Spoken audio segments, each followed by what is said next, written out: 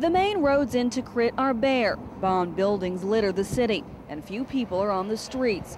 Even though American soldiers seem to be everywhere, the people in Saddam Hussein's hometown aren't paying much attention. Loyalty to the fallen dictator is obvious here, especially downtown, where residents are not waving or giving the thumbs up sign. Instead, they intensely look on at U.S. troops. There are some children and some adults here in Tikrit anxious to meet American soldiers, but there is a marked difference in the attitude between the people here and those in the border towns that we went through on the way to northern Iraq. Saddam, شبيه No Saddam.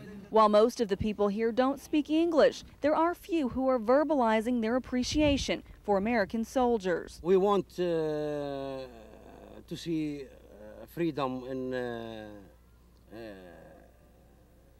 every uh, town uh, and cities in Iraq. Uh, and uh, future is very nice uh, to, uh, uh, to our babies, to our uh, brothers.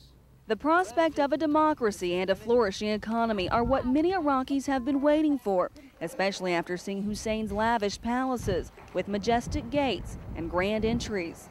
money come money, come money, come American soldiers use interpreters to translate, but the language barrier is still difficult to overcome. And for many in Tikrit, it's a fine line between occupation and liberation. In Tikrit, Sarah Dodd, CBS 11 News.